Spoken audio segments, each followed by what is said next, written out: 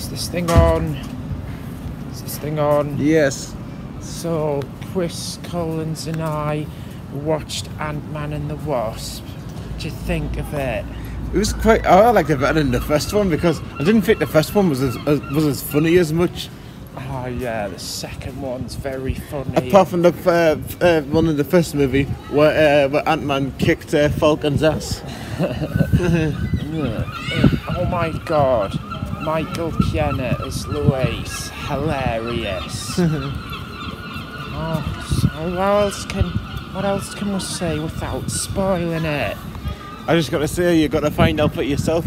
But mind you, it came out in America first before it uh, came out here. What came out in America first? Yes. Now I want to know why they make that film after Avengers Three. Why- But the uh, but the but the main part of the movie was actually before the events of Infinity War. That's true.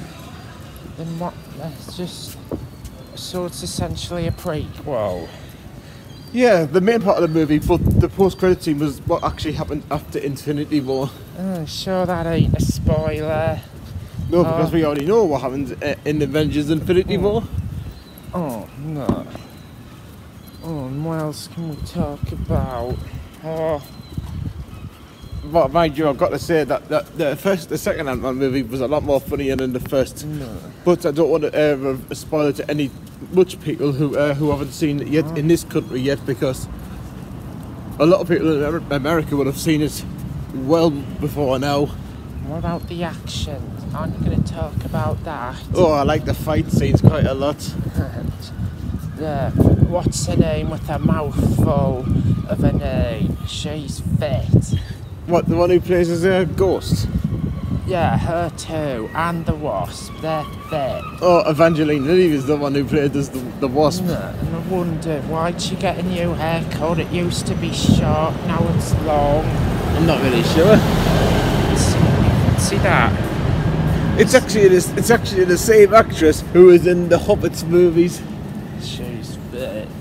Hobbit. Hobbit was on the telly last night. Don't know which one. Well, in the Hobbit, she actually plays one of the uh, elves. She does. Yeah, and so basically in the Hobbit films, the elves the good guys, the horrible monsters are the bad guys. Yes. That's straightforward. And we- Is that a jet that just passed us? Not really sure, to be honest. More about about the film. And the relationship with Scott and his daughter. Mm-hmm. and it, it's, it's getting even closer with his ex-wife's new husband. Yeah. Because in the first movie, Scott got arrested by him. Did Yes. now the BFFs. you could say that. Yeah, and how that lucky little girl, lucky little girl with a daughter of his, she can potentially have two sets of parents. Yeah. Ant Man and the Wasp, and the name of that bloke her mum's dating. No Lucky idea. her. No idea. What else can we talk about? Or have you s- or But mind you, in that movie, I've got to say, Ghost wasn't actually really a villain at all. She just Oh. wanted uh, I thought you help. said no spoilers.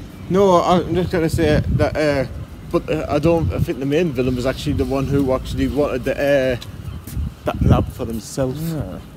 The ones who was working with the FBI. The trailer we saw, I mean, why would a seagull want to eat a tiny little ant when it could be feasting on a crab or anything much bigger? Someone's leftovers of chips. Why an ant? Would make sense It's if like- a cute little sparrow to- ate the bird. It's like for, to, uh, seagull, uh, our seagulls, an ant would be invisible to them. Yeah. Should have been a cute little sparrow. Or a pigeon. Yeah, and you've seen the end of a bug's life. Yeah. yeah the, the bird may have saw Flick first, and she or he thought, "Hmm, looks tasty, but oh wait, here comes a grasshopper, I'll have that, I'll have him instead. Grasshoppers are bigger. Much bigger.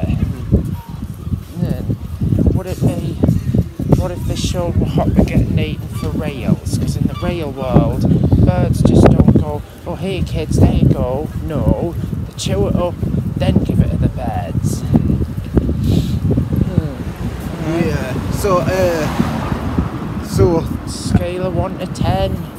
I'd say that a seven point five. 7. A 7.5. You're having a laugh. It was meant. Eight. Yeah. I'd say eight. 10 out of 8 was very meant. Yeah, very meant. Yeah. What was your rating out of ten? 10 out of 10. I'm easily amused. I can't think of any flaws at all. Well, I did prefer Infinity War better to that though. Mm, yeah.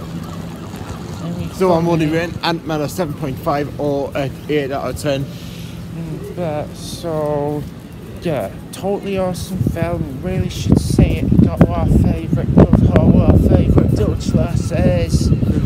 See it already. Bye. Bye now.